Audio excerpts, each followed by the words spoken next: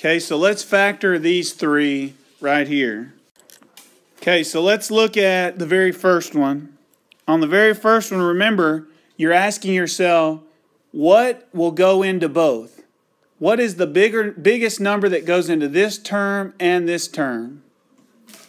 Yeah, look, 3 goes into 3, and 3 also goes into 24, doesn't it? Okay, so I'm going to write 3. Now, is there a letter? I got an A here and I have a B here. It doesn't go into either, does it? So I can't take any variables out. So I've got 3 times, and I took this 3 right here out.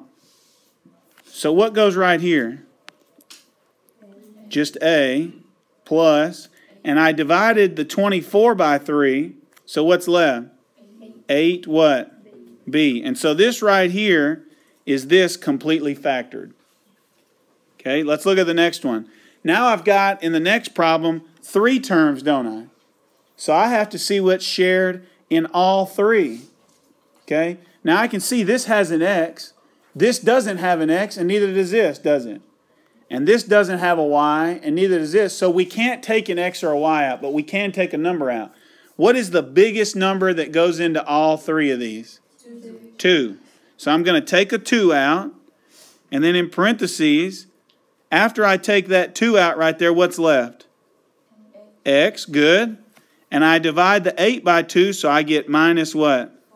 4 what? Y. And then I divide the 14 by 2, and I get plus what? 7. 7. And so this right here is our starting problem completely factored. Remember, factor just means undistributed, right? Let's look at the last one. Okay, I have three terms, don't I? This term here has an M, but the other two do not, do they?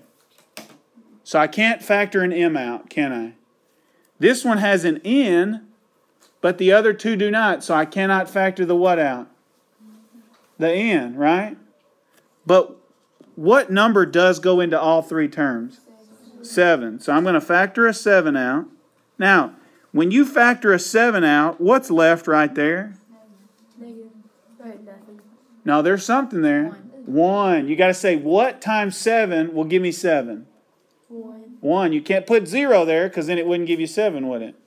So I got to put a 1 here. So when you factor everything out, what's left? A what? One. A 1. Minus, now I factored 7 out of 21. What did I end up with? When you factor 7 out of 21, what is it? It'd be what? 3m, negative 3m. And then I factored 7 out of 35, and what do I get? Plus 5n, like that.